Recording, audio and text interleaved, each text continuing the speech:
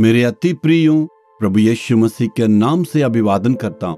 अब ये लगा है मैना के सुरुता लेकिन अभी लग रहा मैना का अंतिम दिन में आ गए लेकिन परमेश्वर ने अपने काम किया है और हमारे लिए कार्य किया है। सारे मुसीबतों में, आंसुओं में दुखों में, अभी अकेलेपन में, सभी बातों में परमेश्वर हमारे साथ रहा, अद्भुत काम किया, अगुवाई किया, आशीष दिया। तो परमेश्वर को हमें दिल की गहराई से धन्यवाद दे के स्तुति करना चाहिए। पहला सामुएल सात अध्याय का बारह वचन में परमेश्वर ये कहता है, उन्होंने इसलिए स्तुति किया, यहाँ तक यहोवा ने हमारी सहायता की। इसलिए उस जहाज़ का नाम एबिनेसर रखा। एबिनेसर का मतलब है परमेश्वर। अभी तक संभाला। पिछले महीना में परमेश्वर ने हमें सभी बातों में संभाला। सारी बातों में रक्षा की। इसलिए परमेश्वर के किए हुए उस कार्य के लिए हमें प्रभु को स्तुति करना चाहिए।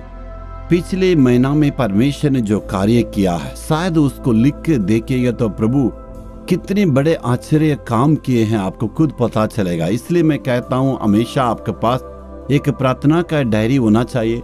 उसमें आपको लिखित रखने से आपको पता चलेगा परमेश्वर ने कितने बड़े कार्य किए।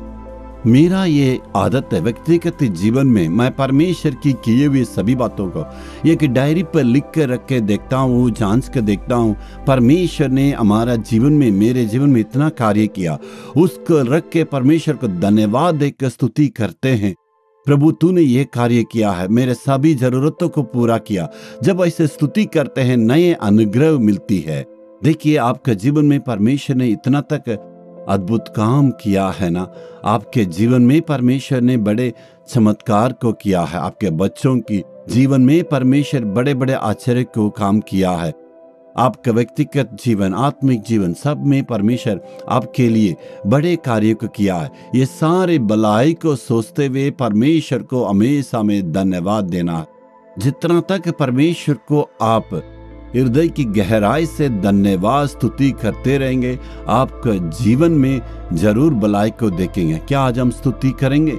परमेश्वर ने जो आपके जीवन में भलाई किया, उसके लिए प्रभु को हम धन्यवाद दें। हे प्रभु, मेरे व्यक्तिगत जीवन में, मेरे परिवार में, मेरी सेवा में इतनी कामों को तूने किया है, इतना जरूरतों को पूरा किया है। मैं धन्यवाद देता हूँ। सारी मुसीबतों में तू मेरे साथ रहता है, परिवार के साथ साथ रहता है, इसलिए धन्यवाद। स्तुति करके, आपको स्तुति की बलिदान करके स्तुति करते यीशु के नाम में, आमीन आमीन।